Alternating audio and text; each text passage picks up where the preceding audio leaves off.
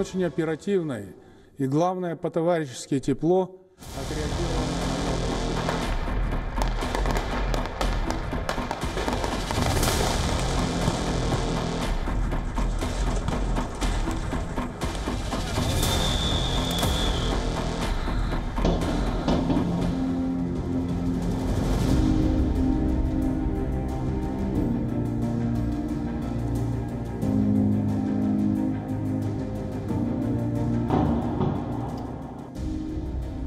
At least 164 people have been killed in the unrest that rocked Kazakhstan, including three children. Security forces have detained 9,900 people in the Central Asian nation. More than 100 businesses and banks were attacked. Nearly 400 vehicles were destroyed after peaceful protests against hikes in the price of car fuel turned violent. Kazakhstan President Kasim Jomart Tokayev described the protests as an attempted coup d'etat and put the blame on foreign trained bandits and terrorists. Meanwhile, Moscow claimed victory for restoring peace in the erstwhile USSR nation. So, how did the oil rich nation reach this boiling point?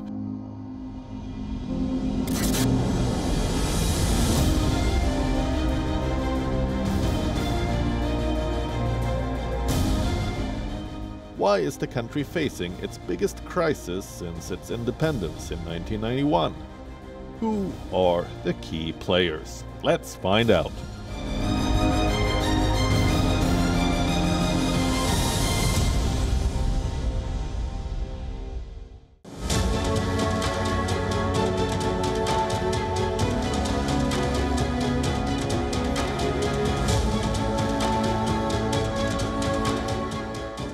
Republic of Kazakhstan, the largest landlocked country in the world. Located in Central Asia, it borders Russia in the north and west. China lies to its east. And in the south, it shares its border with three countries Uzbekistan, Kyrgyzstan, and Turkmenistan. The capital of Kazakhstan is Nur Sultan, formerly known as Astana.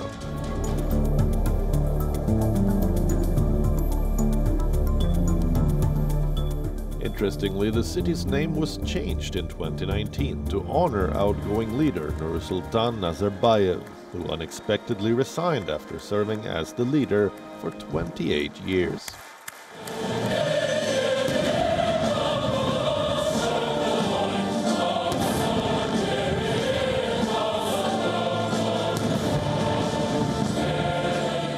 Қазақстан халқына when Kasim Jomart Tokayev was sworn in as president, he promised to seek his predecessor's opinion on key decisions.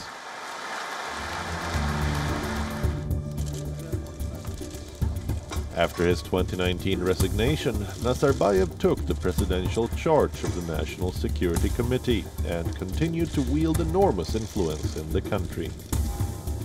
He continued to hold the formal title leader of the nation, while his eldest daughter, Dariga Nazarbayeva, was elected Speaker of the upper house of parliament. But people have had enough.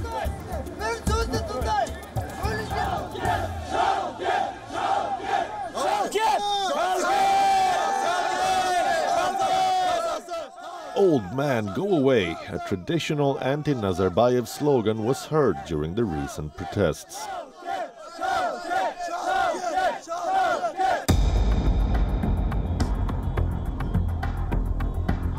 On January 5th, the old man had to step down as chairman of the National Security Committee to help Tokayev cope with the current crisis.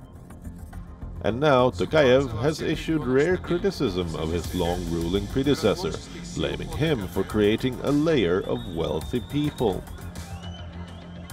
Благодаря первому президенту Ельбасы Thanks to the first president, the leader of the nation, a group of very profitable companies and a layer of wealthy people, even by international standards, have appeared in the country. I believe that the time has come to pay tribute to the people of Kazakhstan and help them on a systemic and regular basis. фактически обладая огромными средствами, находятся в тени. The Kazakh people are fed up with the country's immense wealth being held by a small number of corrupt elites. It is reported that 162 people make up 55% of Kazakhstan's wealth, a country with a population of 19 million. And more than half of the country wealth is with this top brass. Several members of Nazarbayev's family and former associates are among Kazakhstan's richest people. Nazarbayev's second daughter, Dinara Kulibayeva, and her husband Timur Kulibayev are the majority shareholders of Halyk Bank, Kazakhstan's biggest lender by assets. The market value of their stake stands at about $2.8 billion. Kairat Boranbayev, the father-in-law of Nazarbayev's late grandson, Aisultan, owns the McDonald's franchise in Kazakhstan and Belarus. Nazarbayev's eldest daughter, Dariga Nazarbayeva, and her son Nurali Aliyev owns a property portfolio in Britain, estimated by the Times newspaper as worth 140 million pounds, including the Baker Street address of the fictional character Sherlock Holmes. And here is an interesting trivia. In 2013, Nazarbayev paid rapper Kanye West reportedly 3 million US dollars for a gig for his grandson's wedding. всему миру распространите, что в нашем Казахстане процветает коррупция. У нас Казахстан превратился в частное предприятие Назарбаевых. Все, что у нас в Казахстане есть стратегически важные места, да, все принадлежит семье Назарбаевых. Справедливость. Почему, например, э, один клан живут хорошо, а остальные э, в нищете? problems, the grievances that people have been airing since January 2nd when these protests start, protests started were absolutely all domestic problems. Uh, problems of wages, problems of lack of uh, sufficient social benefits, uh, you know, problems with, with fuel, of course, which which started it. Um, and, and, when they when they called out, when they chanted or, or yelled, uh, you know, demands or something, they, they specifically targeted people in the government. The, the first president of Kazakhstan, Nursultan Nazarbayev, being the main target.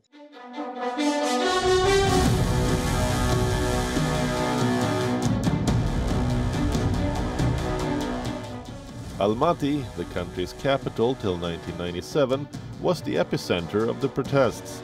It is the most populous city in Kazakhstan and also the commercial hub. Wondering why the capitals were switched 24 years ago?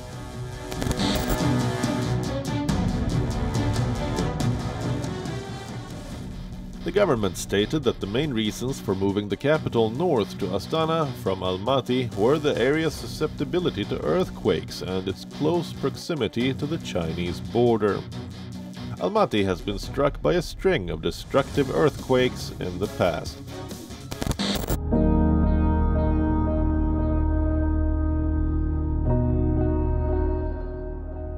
1911, a 7.7 magnitude earthquake struck the Russian Turkestan region that killed 452 people and destroyed more than 770 buildings alone in Almaty.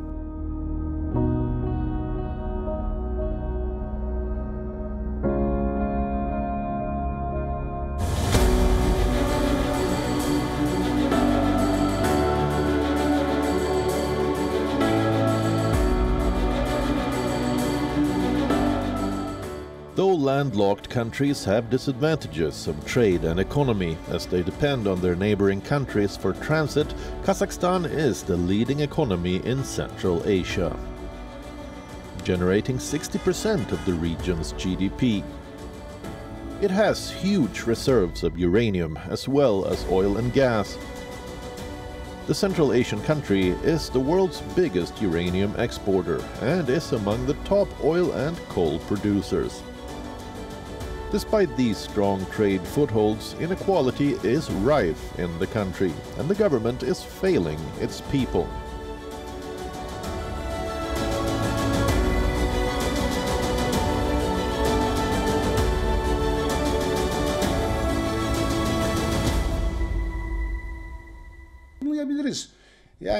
This dictatorship of Nazarbayev, this man who has oppressed the Kazakh people until today, set the place on fire by raising the gas prices in a country that actually has the gas reservoirs itself. On one hand, we have quite an innocent natural protest of people who feel underpaid. The country is rich, but people are poor.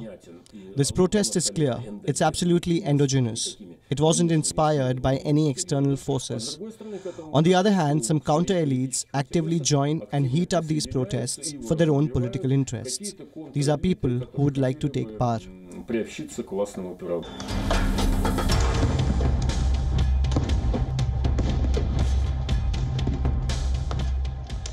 As protests raged on, Karim Massimov, the former head of Kazakhstan's domestic intelligence agency, was arrested on suspicion of high treason. Several other officials were also detained.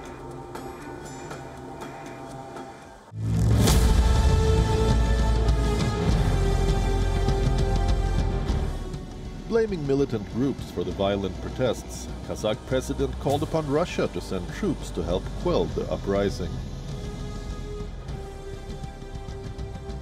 Russian paratroopers were deployed to Kazakhstan as part of a peacekeeping force that includes troops from four other former Soviet republics who were part of the CSTO, or the Collective Security Treaty Organization.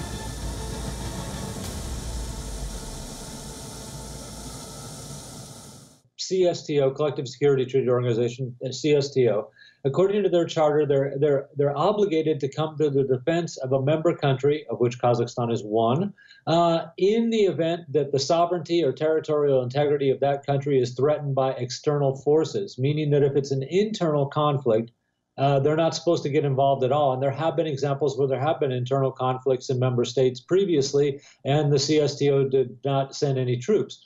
So it was it was really the change of wording. Uh, you know, these uh, the Kazakh president uh, Kasim Jomart Tokayev had acknowledged that these were protesters, uh, you know, domestic protesters with domestic uh, grievances. But when he changed his language and called them terrorists with foreign training, um, then he was able to get this group to come and help him out.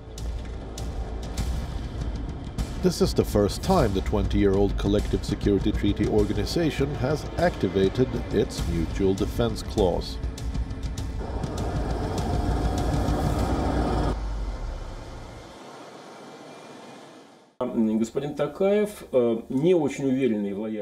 Tokayev is not sure about the loyalty of his own law enforcers, as such regimes always rely on bayonets.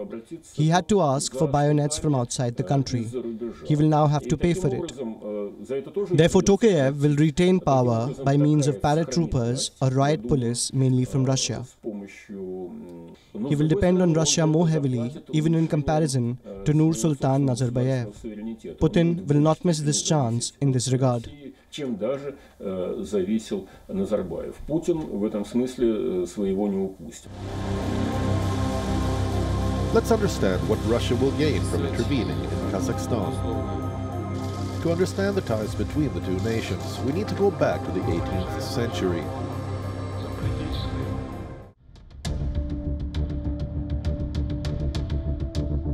The Kazakhs raided the territory of Russia throughout the 18th century, causing the Russians to advance into the Kazakh steppes, a large area of flat, unforested grassland. By the mid-19th century, the Russians seized Kazakhstan and made it part of the Russian Empire. They also liberated all the slaves in 1859. After the 1917 Russian Revolution that led to the Civil War, the territory of Kazakhstan witnessed a lot of geographical changes. In 1936, it became the Kazakh Soviet Socialist Republic, a part of the Soviet Union. But things changed in 1991.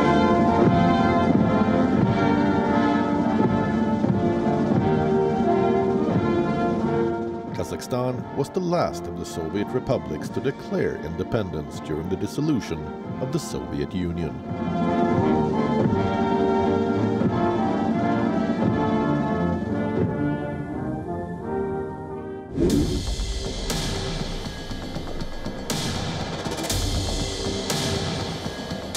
When the USSR collapsed in December 1991, Kazakhstan inherited the fourth largest nuclear arsenal in the world, after Russia, the United States and Ukraine.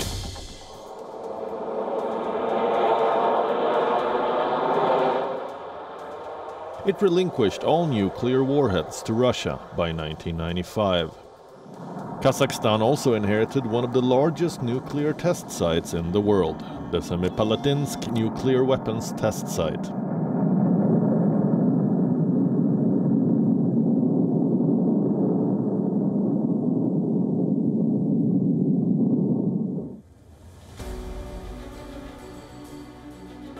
Where the Soviet Union conducted nearly 450 nuclear tests. It was fully decommissioned by the year 2001.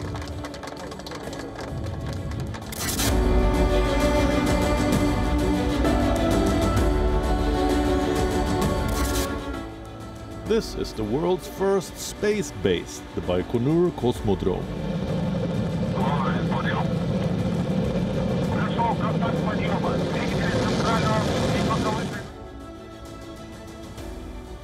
Established on the 2nd of June 1955, Baikonur Cosmodrome was used for launching the first artificial satellite, Sputnik 1. It was also the launch pad for the world's first human spaceflight, made by Yuri Gagarin in 1961.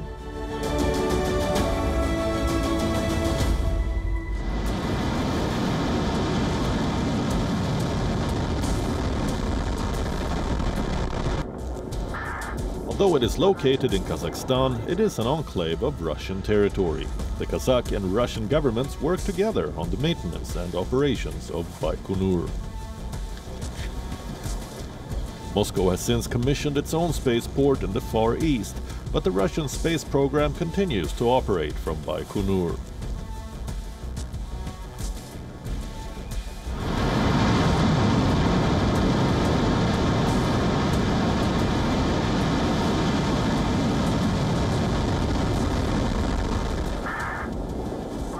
Numerous Russian commercial, military and scientific missions are launched annually from this site.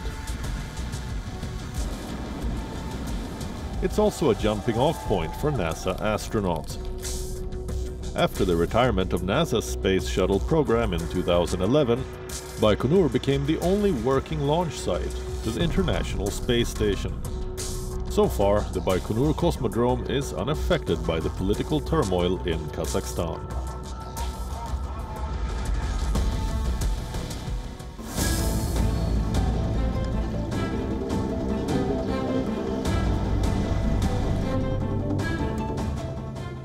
Another neighbor that would be keeping a close eye on the Kazakhstan crisis is China.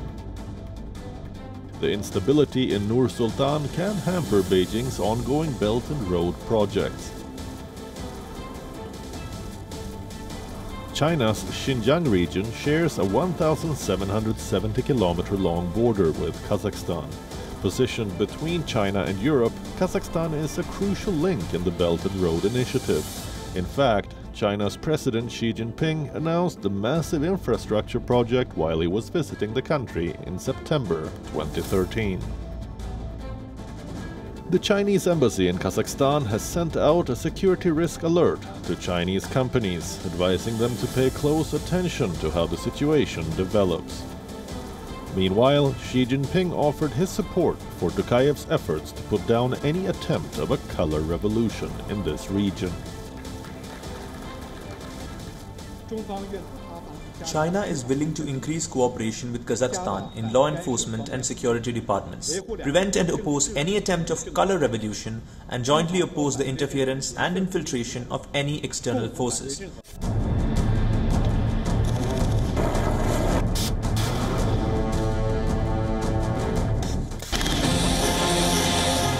Timing of the Kazakhstan protests has coincided with US-Russia negotiations in Geneva over the Ukraine border crisis. It has given Moscow a chance to flex its military muscle and show its influence in the region, a fact that has clearly irked the United States.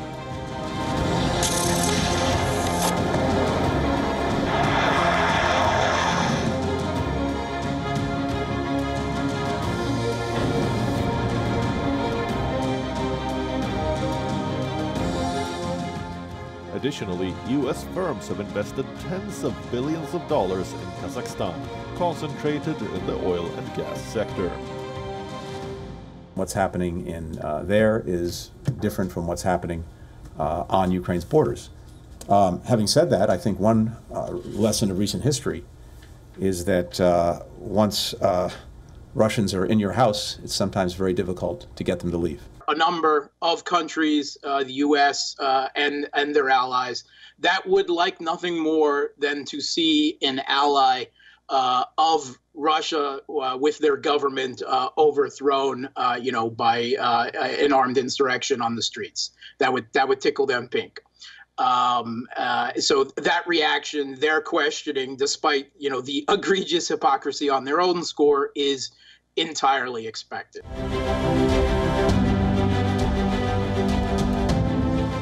On the 11th of January, Kazakh's President Tokayev announced that the peacekeeping contingent of CSTO will be leaving the country by the 21st of January. So, what does the future hold for Kazakhstan? With the Nazarbayev family's iron grip on Kazakhstan finally loosening, can Tokayev steer the country out of this crisis? The government needs to act fast to establish an equitable economy.